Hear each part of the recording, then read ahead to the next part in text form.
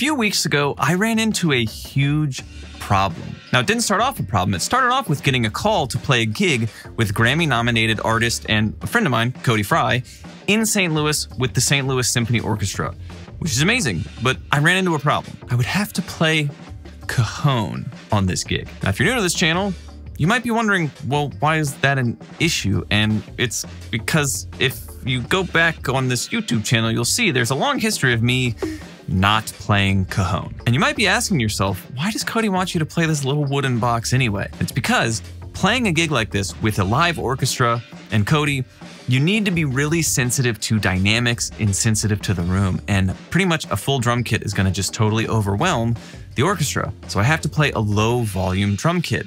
And that's why a lot of drummers, that's the exact kind of scenario a lot of drummers turn to to use a cajon. And cajons work for some people, you know, they kind of sound like a kick drum and a snare drum, kind of. And you can put it on your back and you're good to go.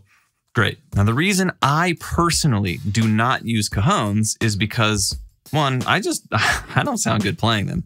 And two, they're really, really limited with the sounds that you can make with them. Now, in the past, to get around this issue of having to play cajon, I would normally play a Roland SPD-SX because you know, it's easy, you set up the pad, you plug in, and most of these low volume situations do use some kind of sound system, even if it's a quiet sound system. But that wasn't gonna work on this gig. This show with Cody was different because it was gonna force me to figure out how to play a low volume gig without a Roland SPD-SX because that just wasn't appropriate for this gig. It wasn't going to work at all. And I needed an acoustic solution to this problem, which is something you all have brought up when I've talked about using a Roland SPD-SX in this kind of situation in previous videos. For this gig, I was gonna need a low volume acoustic drum percussion setup thing that covered a lot of bases. Here's kind of some of the things that I would need in an ideal world from this drum kit. A bass drum that sounds like a bass drum and ideally is tunable. Several snare options for different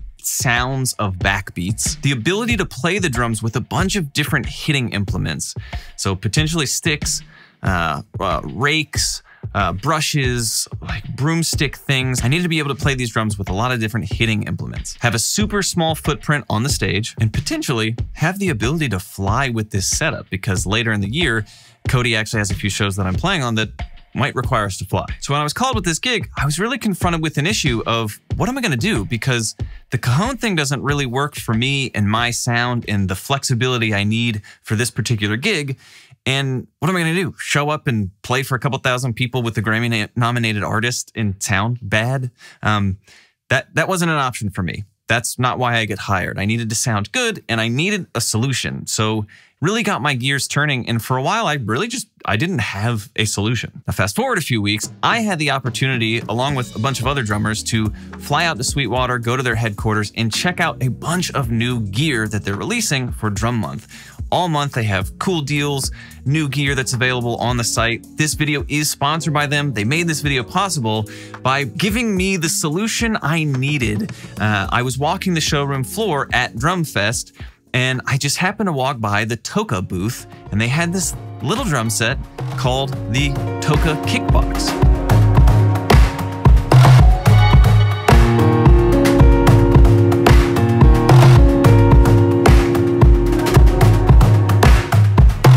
Huge shout out to Sweetwater for making this video happen, for sponsoring this video, because I saw that little kit on the showroom floor and I said, I think that's to be the perfect solution. Can you guys ship me one?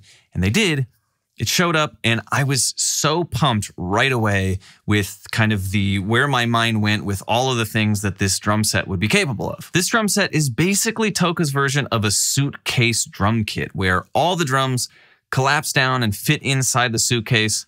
When you take all the drums out and set them up, the suitcase that they all fit away in becomes the kick drum. It's a super cool idea and it sounds amazing. It works perfectly for a low volume environment where you need to kind of play drums and play percussion, but you want it to be quiet.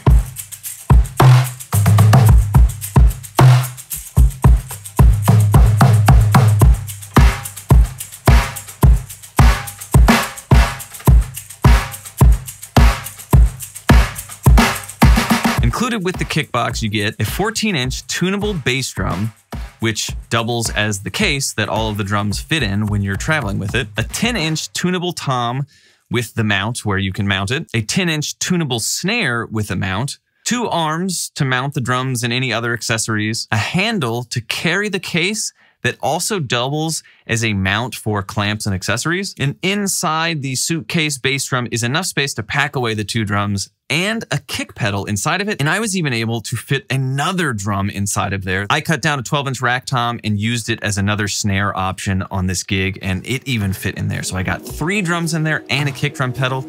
And you just pick the thing up and you walk away with it.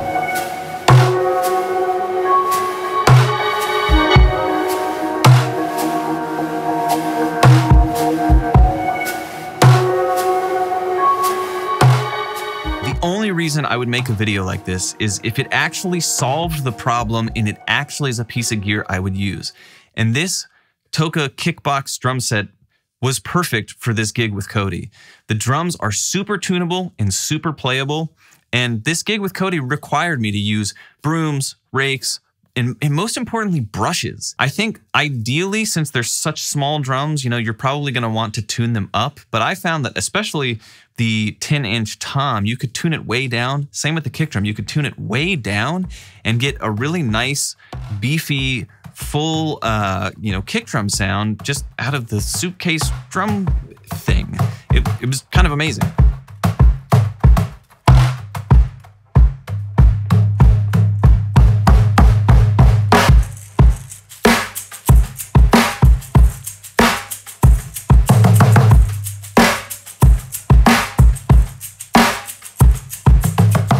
Build quality of everything on the Toca KickBoxx was really impressive. You know, that's one of the things that um, sometimes, especially when you're trying to get mounts and stuff that you can clamp stuff on and fit the drums all inside a thing, like it's pretty easy. That's a lot of hardware, a lot of moving pieces. It's pretty easy for a company to make something where they kind of cheap out on some of those things. And it's a cool idea in theory, but then it doesn't really work in real life because it fell apart the first gig you took it on.